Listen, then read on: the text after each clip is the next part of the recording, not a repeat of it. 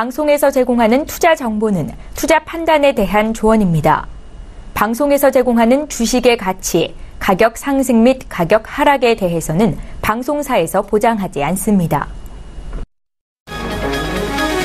이 시각 헤드라인 뉴스입니다. 기름값 상승과 달걀, 배추 등 농축산물 가격 급등의 여파로 지난달 소비자 물가 상승률이 4년 3개월 만에 2%대에 올랐습니다.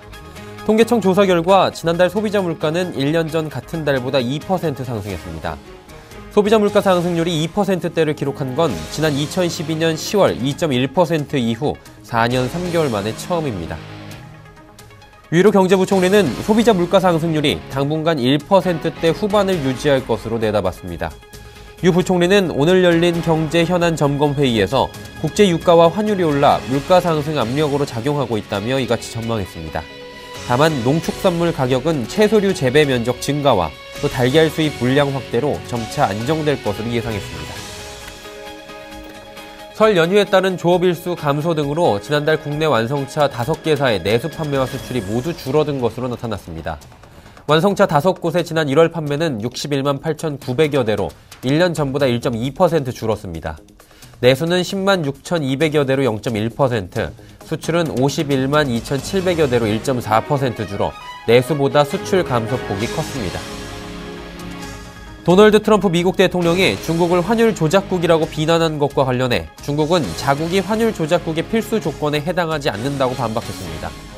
쉬창원 연구원은 중국이 대미 무역 흑자가 많다는 것 외에는 미국이 제시한 환율 조작국 기준에 해당하지 않는다며 중국이 환율 조작국이라는 사실을 절대 인정할 수 없다고 강조했습니다. 시청자 여러분 안녕하십니까. 오늘장 내일장 일부 서정덕입니다. 올 들어 첫 번째로 맞이한 미 FOMC 회의 결과가 나왔죠. 예측한 대로 금리는 동결 그리고 향후에 대한 이 발언은 따로 없었습니다. 그러다 보니 이제 추가 인상에 대한 언급이 없다 보니 이 부분에 대해서도 시장에선 불확실성이 커지고 있는 것이 아니냐라고 이야기들이 나오고 있는 상황입니다. 하지만 그것보다는 국내 정치 상황의 변동이 굉장히 컸습니다.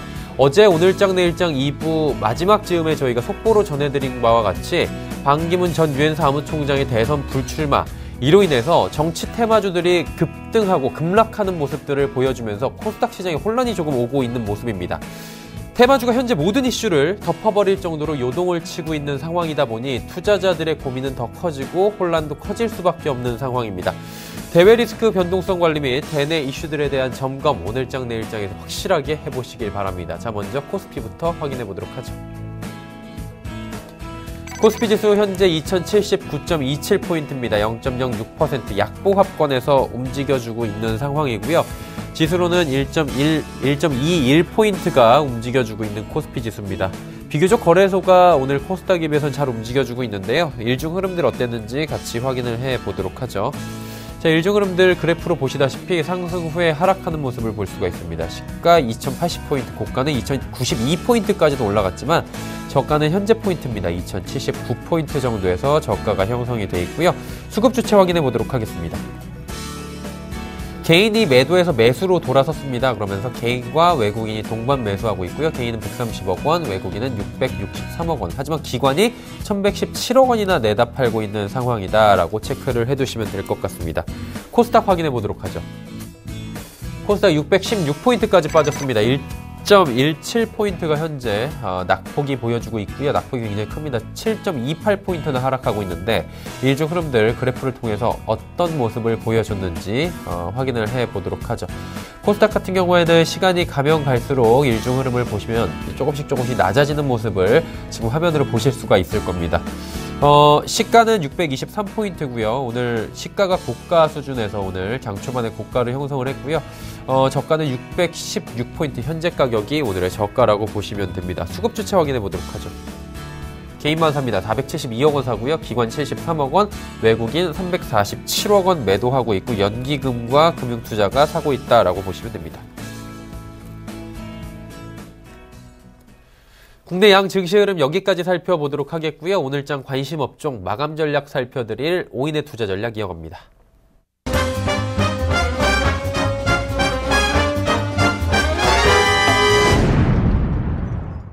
맨눈으로 시장을 살펴드리는 오인의 투자 전략 시간입니다. 과연 오인은 오늘 장에 대해서 어떤 투자 전략을 남겨주었을까요? 화면으로 만나보시죠. 자 먼저 동부직권 압구정금융센터 이재우 DHP입니다. 살아있는 외인 수급 그리고 조정받고 가는 장 외인의 수급 주체가 오늘 어, 거래소에서 나오고 있죠. 647억 원 또 사고 있는데 이 부분에 대해서 좀 이야기를 해주고 계신 것 같고요. 다음으로 메르츠정금직권 강남금융센터의 전희승 과장입니다. ETF 코스닥 그리고 인버스에 관심을 갖자라고 어, 말씀을 남겨주셨습니다. 자 다음으로 하나금융투자증권 원주지점의 박남열 부장입니다. 숲보다는 나무를 보자. 특히 LG전자, LG화학, LG이노텍 이런 LG와 관련된 것들에 대한 이야기를 많이 해주셨습니다. 자 다음 살펴보도록 하겠습니다. 메리츠 정금직권 여의도금융센터의 김민수 부장 짧게 세 글자로 주셨습니다. 재도전 어떤 의미일까요? 잠시 뒤에 만나보도록 하죠. 자 이베스트 투자증권 테헤란금융센터의 김근호 연구원입니다. 중소형주 약세가 지속된다. 대형주의 매력은 여전하다라고 이야기 남겨주셨습니다.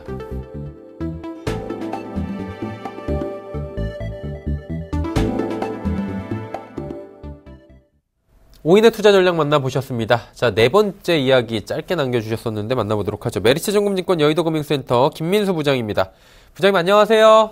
네, 안녕하십니까. 네, 오늘 굉장히 간략하게 주셨습니다. 재도전. 어떤 의미에서의 재도전인지 들어볼까요?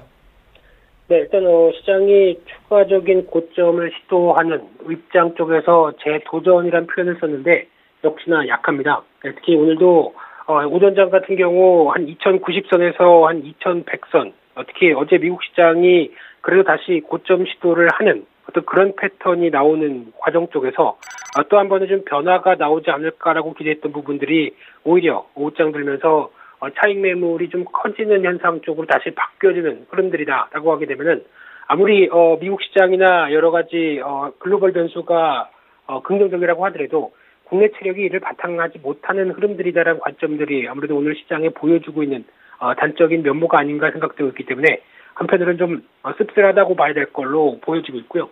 어, 그런 가운데 어, 무엇보다도 지금 추가적인 이제 고점 권역에 대한 시도를 계속 이어가는 가운데 어떻게 보면 어, 추세가 유지는 되고 있지만은 어, 단기적인 어떤 비추세 구간 쪽에서 어, 시장에 대한 관망세가 좀 더 커질 수 있지 않을까라는 쪽으로 시장을 바라봐야 된다고 보여지고 있고요. 어, 그런 관점 쪽에서 지금 또 하나의 시장 흐름들은 오늘도 마찬가지겠지만 본격적으로 실적 관련된 부분들, 즉 어, 실적이 여러 가지 회사들이 좀 발표하기 시작하면서 그에 따른 반응과 어, 그리고 특히 어, 그에 따른 올해의 전반적인 실적 흐름에 대해서도 가늠하고 있는 그런 분위기 때문에 아무래도 시장에 대한 지수나 이런 부분들이 탄력을 강하게 가하기는 좀 확인하자라는 심리가 좀 더 크다고 봐야 될 것 같고요. 어, 거기다가 지금 또 하나의 오늘 장에서 나타나는 특징 중에 하나는 어, 테마주를 잘못 매매하게 되면 이와 같은 결과가 나온다라고 하는 어떻게 보면 어, 약간 좀 투기적인 국면 쪽에서 허황된 꿈을 가졌었을 때 나온 어떤 폐해는 어, 지금같이 정치 테마주의 어떤 몰락들이 이런 변화를 또 가져온다라고 보여지고 있기 때문에 어, 그런 점들을 꼭 염두를 해두시면서 어, 물론 어, 매매가 좀 실패하셨다고 하더라도 분명히 기회는 다시 있다고 생각 들고 있고요. 하지만 그 기회의 접점은 항상 기업의 펀드멘탈이나 실적 중심으로 되는 종목 중심으로 몰아가는 그런 쪽의 전략들이 반드시 필요하다는 쪽으로 그렇게 말씀 좀 드려야 될 것 같고요. 아, 그렇다고 해서 오늘 시장 흐름들과 관련돼서 전반적인 모습들을 보게 되면은 아무래도 여전히 시장의 분위기는 뭔가 시도를 할 만한데 아직까지는 그렇게 그 확대가 되지는 않는다라는 관점 쪽에서 여전히 포트폴리오는 압축하면서 대응하는 게 가장 낫겠다는 관점 쪽으로 그렇게 봐야 될 것 같고요. 아, 그렇다고 한다면은 여전히 계속 강조를 드리는 IT주부터 경기 민감 섹터들 중심으로 어, 실적 확인하시면서 어, 그리고 이제 종목들을 압축해가는 어, 그런 전략들이 가장 유효한 시점이라고 생각이 들고 있습니다. 네, 어, 테마주 이야기 그리고 IT 업종 그리고 경기 민감 섹터까지 이야기를 나눠봤습니다. 자, 오늘 관심 업종으로 짚어주신 게 그러다 보니까 IT 섹터, 화학, 철강, 기계 업종 꼽아 주셨습니다. 이 중에서도 마감 전략 좀 들어보고 싶고요. 저희가 접근해 볼 만한 종목 있다면 들어볼 수 있나요? 네, 일단 어, 지금 업종에 대해서 큰 차이가 없는 쪽으로 계속 강조를 드리는 쪽이고요. 어, 그런 가운데 어, 그래도 지금 이제 실적 발표가 속속들이 나오면서 어, 기대치에 맞는 업종과 종목이 있고 아닌 업종과 종목이 있는 가운데 그래도 어, 기대치에 눈높이 계속 맞고 올해 적어도 상반기까지는 모멘텀이 유효하다라는 어떤 업종들은 어, 지금 말씀드렸던 업종들의 흐름들이 어, 가장 중요하다고 봐야 될 것 같고요. 그런 가운데서 오늘 어, 말씀드린 종목은 일단 어, 삼성 바이오로직스를 말씀을 좀 드리겠는데요. 일단 어, 시장의 주요 업종과는 조금 다른 차원에서 봐야 될 흐름이 아닌가 생각되고 있는데 어, 특히 바이오 쪽과 관련된 쪽에서 시장에서 요구하는 시장에서 눈높이에 맞는 변화가 나올 가능성이 크다는 점에서 삼성 바이오로직스를 말씀 좀 드리고요. 어, 특히 오전장에 언급을 해서 관심 있게 봐는, 보는데 오후장 지금 현재는 주가가 좀 많이 올라서 일단 지금 단계에서 접근하시기에는 조금 좀 어, 가격적인 무리도 있지 않을까라는 관점들도 이어지는데 무엇보다 지금 삼성 바이오로직스 같은 경우는 바이오 의약품을 위탁 생산하는 회사고요. 거기다가 어, 자회사 삼성 바이오 에피스가 이 바이오 시밀러 관련된 쪽에서 연구 개발을 하는 회사라고 보시면 될 것 같은데 어, 특히 또 유럽에서 란투스 바이오 시밀러의 시판 허가가 승인이 났고요. 올해 안에 란투스와 레미케이드 같은 쪽에서 어, 미국 쪽에서 어, 추가적인 어, 유럽 쪽에서의 허가가 또다시 예고가 되고 있는 상황이기 때문에 이와 관련된 부분들 쪽에서의 모멘텀은 아직 조금 더 확인해야 되지 않을까 생각되고 있고요. 가장 주목해야 될 부분 중에 하나가 이 바이오 업종 쪽에서의 주도주가 변화가 될 가능성이 높다라고 봐야 될 것 같은데 어떻게 이제 최근에 들어서 작년부터 이어졌던 어, 제약 바이오 업종들의 어떤 시장에서의 시각들은 많이 좀 낮아져 있는 상태, 기대감이 많이 좀 떨어진 상태인데 그렇다고 한다면 그때 나왔던 가장 핵심적인 부분들이 어, 제약 바이오 쪽에서 나오는 기술 수출료와 관련된 즉 신약 개발과 관련된 쪽에서 한번 터트리게 되면 대박이다 이런 인식이 좀 커지다 보니까 그와 관련된 리스크는 반대적으로 좀 존재한다는 부분들은 어, 잊고 있었다가 그 부분이 부각되니까 시장이 많이 위축됐다고 봐야 될 것 같은데요. 그렇게 되면은 상대적으로 리스크가 적은 이 바이오 시밀러 즉 복제약 쪽이나 위탁 생산업체 쪽은 오히려 안정적인 쪽의 실적과 성과를 낼 수 있다는 관점 쪽에서 주목을 해야 될 걸로 보여지고 있고요. 거기다 이제 트럼프의 오바마 케어가 폐지될 걸로 보여지고 있는 가운데 어, 트럼프의 가장 중요한 어떤 어, 약가 정책 중에 하나는 어, 약 가격이 너무 비싸답니다. 그렇다 보니까 어, 약가에 대한 어, 어떤 자율적인 업체 쪽의 약 가격 정책을 조절하게 만드는데 그렇다고 하더라도 약가 인하를 유도하겠다는 관점이 좀 크다라고 하게 되면 아무래도 이와 관련된 쪽에서 복제약 중심의 어떤 경쟁력이 있는 어, 상품들의 가격적인 측면들이 부각될 수 있다라는 관점으로 봤을 때 어, 어떤 바이오시밀러에 대한 부각은 좀 더 커질 수밖에 없다라고 봐야 될 것 같고요.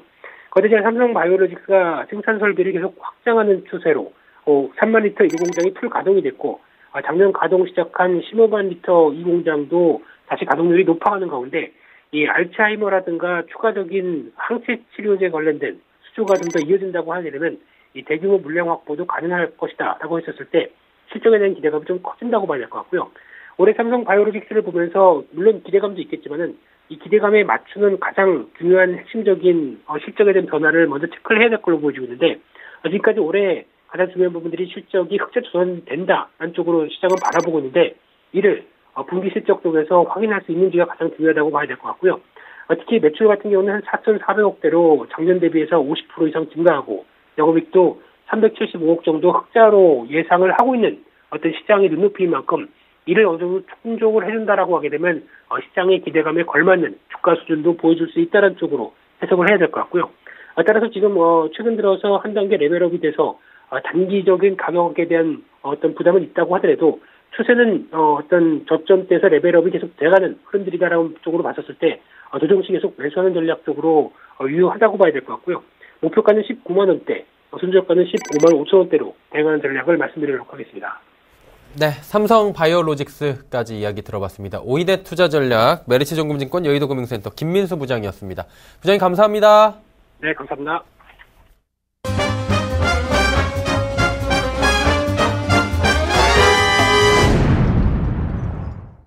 증권 전문가 5인과 함께하는 시간 종목 컬렉션 시간입니다. 증권 전문가 5인이 엄선된 종목을 시청자분들께 추천해드리는 시간인데요. 그동안 추천한 종목 중에 베스트 수익률 어떤 종목들이 있는지 top3 만나보시죠. 자, 변동이 있을지 모르겠습니다. 변동이 좀 보입니다. 3위 유안타증권 금융센터 도곡본부 이성웅 대리 종목입니다. 2위를 지키고 있던 예스티 종목이 3위로 어, 내려왔는데요. 수익률이 떨어져서 내려온 건 아니네요. 31.6%의 높은 수익률이 현재 3위고요. 2위가 대신증권 인천센터의 강종혁 대리입니다. 3천당 제약이 무려 32.1% 전일 급등이 나오면서 2위까지 지금 수익률이 올라왔고요. 1위는 유한타증권 금융센터 도곡본부 이성웅 대리 종목 굳건합니다. SM코어 내려온 수익률이 현재 41.3%입니다. 자, 오늘은 1위와 3위 종목을 동시에 보유하고 있는 유한타증권 도곡 그 도곡센터 금융센터 도곡본부 이성웅 대리와 함께 하도록 하겠습니다. 대리님 안녕하세요. 네, 안녕하세요. 네. 두 종목이 아직도 잘 가고 있는데요. 오늘 전해주실 종목도 궁금하지만 그 전에 가지고 계신 종목들에 대한 보유인지 매도인지 보기 위해서 저희가 포트부터 열어보도록 하죠.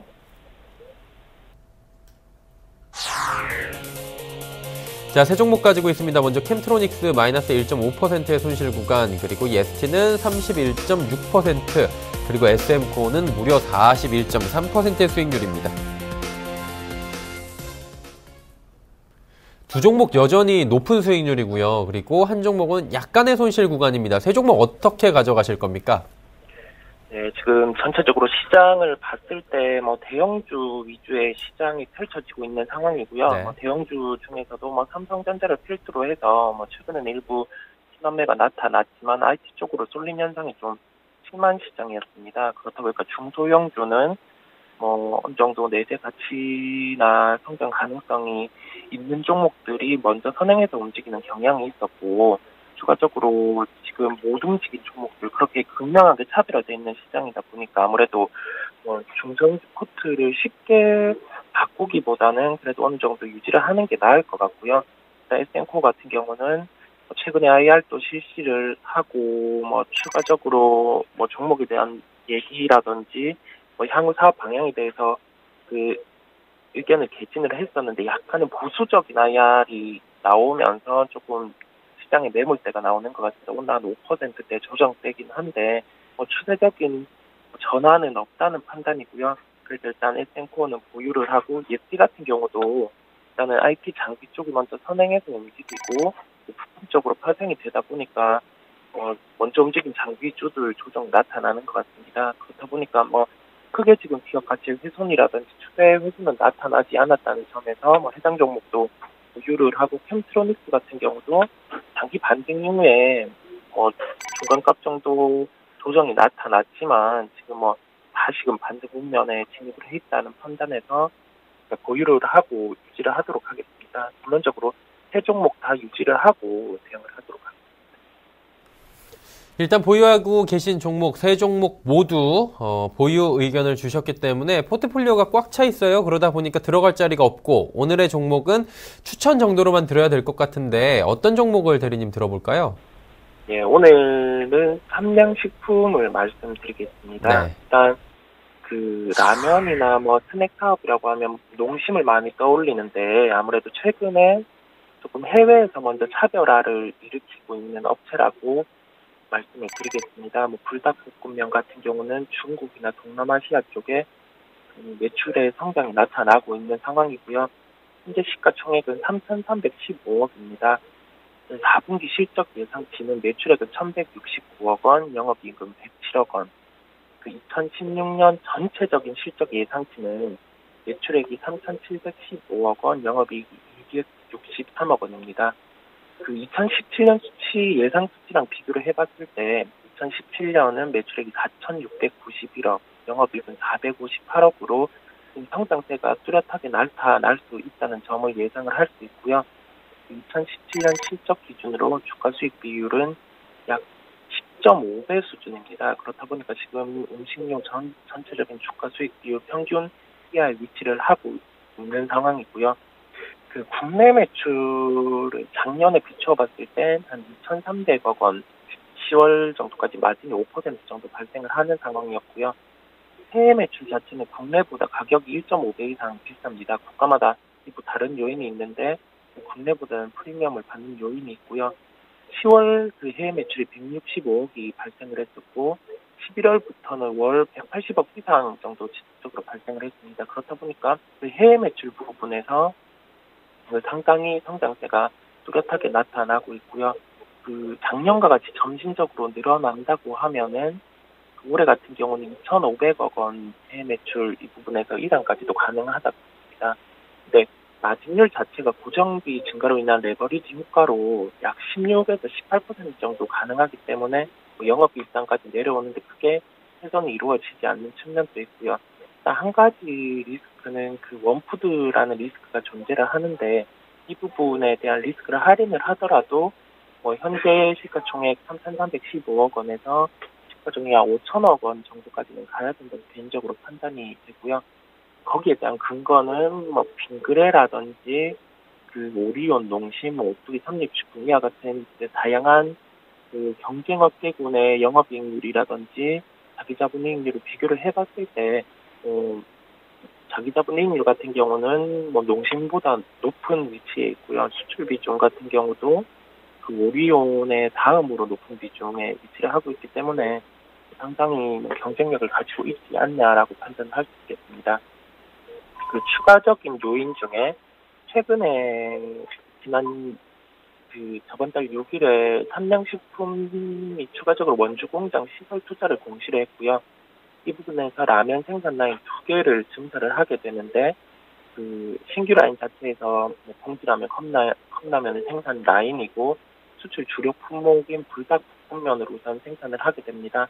단기적인 유행이지 않을까라고 하나의 그 우려를 할 수 있는데 그런 요인은 좀 낮은 측면이 있고요. 기존의 뭐 SNS라든지 이런 부분에서 뭐 순차적으로 인기를 끌어왔기 때문에 그 뭐 한 부분에서 수출 국가도 다변화가 되고 있는 상황이고 그 한 가지 예를 들면 중국의 경우는 해안가 대도시 중심으로 수출이 됐다가 내륙 쪽 2, 3선 도시로도 판매차가 확장이 됐습니다. 그렇다 보니까 정말 확대로 인한 뭐 성장에 대한 예상 그리고 그 SNS를 통해서 현재 2년 전부터 유행을 하던 게 현재까지 인기가 지속되고 있기 때문에 여기에 대한 증설은 뭐 긍정적인 효과가 나타날 수 있다라고 불문지을 수 있겠습니다.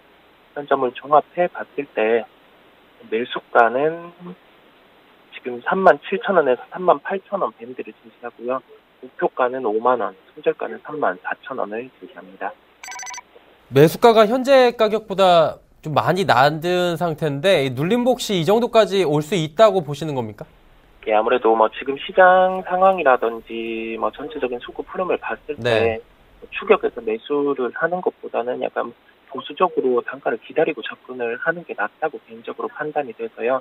그러니까 해당 가격쯤 왔을 때 편입을 하는 게 효율적이라고 결론을 지을 수 있겠습니다. 네, 알겠습니다. 어, 삼양식품 이야기까지 들어봤습니다. 종목 컬렉션 유안타증권 금융센터 도곡본부 이성웅 대리였습니다. 감사합니다. 네, 감사합니다. 네. 오늘장 내일장 일부 함께 하고 계시고요. 2부 예고를 잠시 해드리도록 하겠습니다. 먼저 오늘장 이슈부터 준비가 되어 있는데요. 하나금융투자증권 자산전략팀 김두원 연구원과 함께합니다. 미국 FOMC 이후에 시장 동향을 분석하는 시간 갖도록 하겠고요. 이슈 칼럼 이어집니다. 미중산업경제연구소 조용찬 소장과 함께 미국발 통상 마찰에 따른 시장의 영향 점검해 보도록 하겠습니다. 핫이슈 종목 유안타증권 명동지점 이정남 대리 출연해서 이 테마주에 대한 투자 전략 짚어드립니다.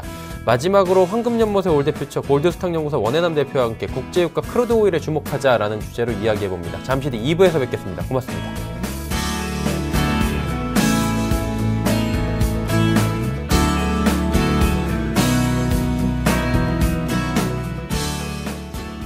본 방송에서 제공하는 투자 정보는 투자 판단에 대한 조언입니다. 방송에서 제공하는 주식의 가치, 가격 상승 및 가격 하락에 대해서는 방송사에서 보장하지 않습니다.